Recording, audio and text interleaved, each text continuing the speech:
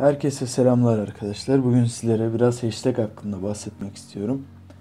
Aslında birçok kez değindiğim bir konudur. Bir- Birçok kişi de bu konu hakkında bana devamlı soru soruyor Instagram üzerinden. Aa, Şimdi ben size şöyle bir şey anlatmak istiyorum. Birçok kişi şöyle hashtagler kullanıyor. Örnek olarak Instagram hashtag'i. Adam yazıyor Instagram hashtag'i ama Instagram hashtag'in altında 440 milyon paylaşım vardır. Ve bu gönderiler keşfete çıkabilmesi için çok fazla çok yüksek eee, beğeni sayısı olması gerekiyor. Yani şu ki benim size önerim daha az gönderili hashtagler kullanmaktır. Örnek olarak örnek olarak bir sayfayı ele alalım. Şuradan hemen bir sayfa seçelim. Mesela el yapımı ürünleri yapan bir sayfa olabilir. Şuradan bir tane sayfa bulalım. Ne olsun? Mesela el yapımı oyuncak değil mi? Girelim bu sayfaya. Şimdi şöyle bir bakalım hashtaglere neler kullandı diye. Oyuncak. Bakın oyuncak hashtag'i çok güzel. Evet tam fotoğrafla alakalı fakat oyuncak hashtag'in altına girdiğiniz zaman 1 milyon 200 bin gönderi vardır. Yani bu demek oluyor ki sizin fotoğrafınız eğer sayfanız küçükse bakın. Sayfanız küçükse o zaman sizin fotoğrafınız keşfete, hashtag keşfetine çıkma olasılığı düşüktür. Yani yüzde beş kadar belki daha azdır. Bundan dolayı benim size önerim ilk önce ilk 5 hashtag'i bu resimdeki gördüğünüz gönderiyle ilgili olsun. Yani nasıl olsun? Mesela bu örme bir oyuncak değil mi? Örgü oyuncak. Mesela örgü oyuncak. İlk sırada bu durabilir. Örgü oyuncağın altına girdiğiniz zaman yani 115 bin var. Çok fazla değil, çok da az değil. Yine idare edecek bir hashtag. Daha sonrasında doğal oyuncak çok güzel. Organik oyuncak süper. Bu ne? Amigurumi. Yani bu sanırım bu oyuncakların ismi sanırım. Yine aynı şekilde bakın amigurumi herhalde internasyonel bir isim olduğu için birçok kişi kullanmış. 6 milyon 763 bin gönderisi var. Yine aynı şekilde yani buraya düşmeniz için, keşfet kısmına düşmeniz için bakın adamlar 3000 tane beğeni alıyor mesela örnek olarak. Çok da büyük bir sayfa. Sayfanız eğer küçükse lütfen bu tarz hashtagleri kullanmayın. Çünkü sizlere herhangi bir faydası olmayacaktır. Handmade mesela. Handmade neden kullanıyorsunuz ki? Yani fazladan bir tane beğeni gelirse bu size nasıl bir fayda sağlar? Ki bu beğeni de yüksek ihtimalle gelmeyecektir. Çünkü handmade hashtag'ine baktığımız zaman 195 milyon kullanıcısı var. Yani bir fotoğraf paylaştığınız zaman handmade hashtag altında şöyle girelim. Mesela bakın bu yeni bir gönderi. Daha yeni paylaşılmış 16 saniye önce. Hemen bir yenile yapalım. Bu gönderi alta inecektir. Bakın gördünüz mü? Ta alta indi. Hangi gönderiydi? Bayağı herhalde. Ha, şuydu sanırım. Bayağı bir alta iniyor. Yani her saniye bu gönderiler alta iniyor. Bundan dolayı bu hashtagleri hiç kullanmayın daha iyi olacaktır sizin için. Onun dışında İstanbul hashtag'i yine e, çok kullanılan bir hashtag'tir. Hemen girelim bakalım. Evet, 92 milyon kullanıcısı var. Ki İstanbul hashtag'i bu fotoğrafla herhangi bir alakası yoktur. Şimdi onun dışında hashtagleri nasıl seçmemiz gerekiyor? Şimdi hashtagler şu şekilde çalışıyor. Instagram'ın algoritması şöyle çalışıyor. Mesela bu resimde siz ne görüyorsunuz? İki tane oyuncak, oyuncak, bebek işte, örgü oyuncak, işte doğal oyuncak görüyorsunuz değil mi? Siz bunu bu şekilde paylaştığınız zaman bu hashtag'inize göre keşfetlere çıkma olasılığı yüksektir. Neden? Çünkü o hashtag ile ilgili bir şeydir. Yani mesela girelim örgü oyuncağı. Yani burada örgü oyuncakta siz mesela plastik oyuncak görme olasılığınız çok düşüktür. Genelde hepsi mesela örgü oyuncak gördüğünüz gibi. Ha plastik oyuncak yazdığınız zaman o zaman plastik oyuncak çıkacaktır. Instagram'ın algoritması, yapay zekası bu şekilde çalışıyor. Resmi belirliyor, görüyor ve ona göre hashtagler de size öne çıkarıyor. Yine hashtaginiz çıkmayacak mı? Tabii ki çıkacak buralara. Fakat şu keşfet kısmına en iyi gönderili öne çıkanlar kısmına çıkmayacaktır gönderiniz. Aa, onun dışında mesela fotoğrafta hadi benim sayfadan örnek verelim. Ya da başka bir sayfa olabilir. Mesela sosyal medya yazalım. Sosyal medya. Aa, ne olsun? Yönetimi olsun.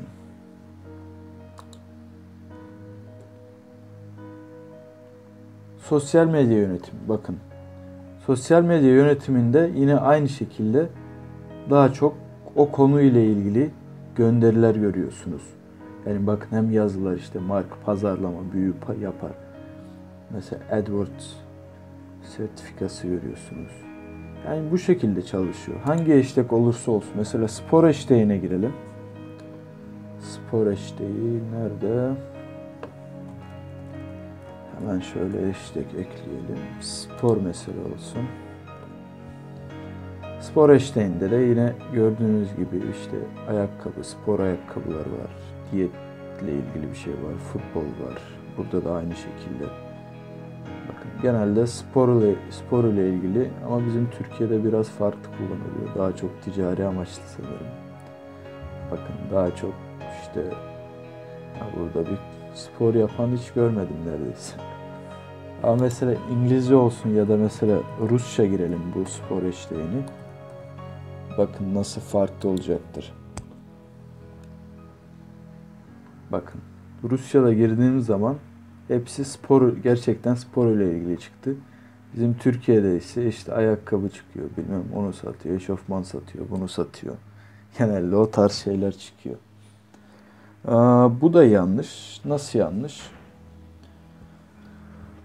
Yani yine dediğim gibi spor yazdığınız zaman tamam spor çok güzel. Spor yerine şöyle bir şey kullansanız daha iyi olacaktır. Spor ayakkabı mesela.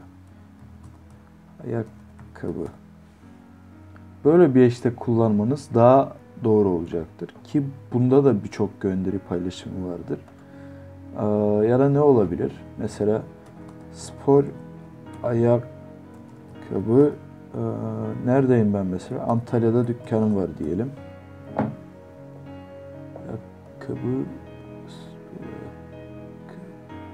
Antalya hiçbir şey bulunmadı diyor. O zaman şöyle yapalım. Ayakkabı Antalya mesela. Ki bunda da çok az paylaşım vardır. Yani hashtagleri insanlar e, Türkiye'de e, böyle aramaya göre ayarlamıyor. Yani siz bir şey aradığınız zaman genelde hashtag'e göre ararsınız. Fakat Türkiye'de bunlar öyle çok fazla kullanılmıyor. Mesela Rusça yazalım. Ee, ayakkabı mesela Moskova olsun.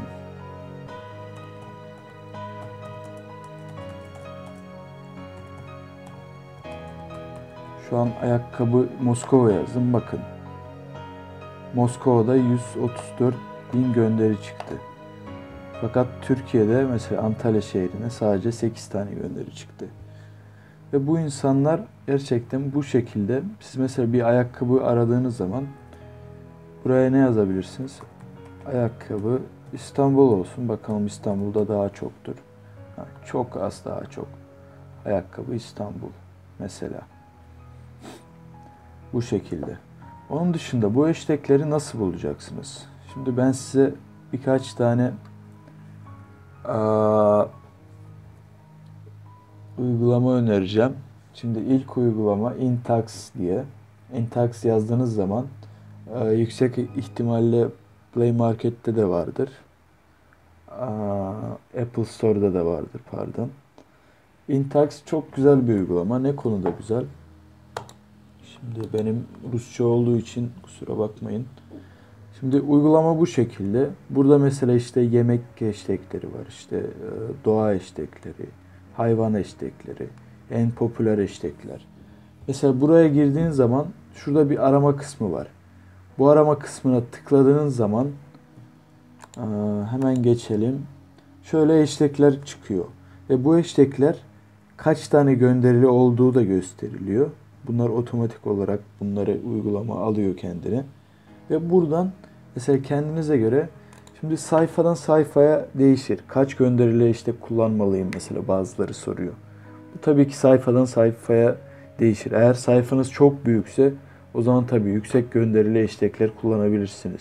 Çünkü öne çıkan öne çıkanlara e, çıkma ihtimaliniz daha yüksek olacaktır yani keşfete. Eğer sayfanız küçükse, henüz çok fazla gelişmemiş değilse, beğeni sayınız düşükse, etkileşimleriniz düşükse ondan düşük kullanımlı hashtagler kullanın. Yani bu 10 bin de olabilir, 10 bin gönderili hashtag de olabilir, 50 bin de olabilir, 100 bin de olabilir. Fakat çok fazla çıkmayın. Benim size önerim işte 1000 hashtag ile 200-300 bin arası olsun maksimum. Tabii yine de değişiyor. Sayfadan sayfaya değişiyor. Gönderiden gönderiye de değişiyor. Bazı gönderiler çok fazla etkileşim alıyor. Bazıları alamıyor. Bu uygulama bu şekilde. Yine buna benzer birkaç tane daha uygulama var. Bu da buna benzer. Top Tags for Likes. Bunu da kullanabilirsiniz. Yani benim size önerim mesela Play Market'te Hashtag Instagram'ı yazın mesela. Zaten bir sürü uygulama çıkıyor. Bakın şöyle işte puanlarına bakın. En azından şöyle biraz yüksek olsun, 5'e yakın olsun puanları. Yorumlarına bakın. Kullanımına bakın fotoğraflarına. Şöyle mesela uygulamaları indirmenize gerek yoktur mesela. Bu kaç? 3 tane yıldız almış bir uygulama. Yüksek ihtimalle az kişi de indirmiş zaten. Yani kullanışlı değildir büyük ihtimalle ya da iyi değildir. Bu şekilde kendinize bir uygulama belirleyin. Onun dışında hashtagleri şöyle bir şey söylemek istiyorum. Birçok insan devamlı aynı hashtagleri kopyalayıp yapıştırıyor.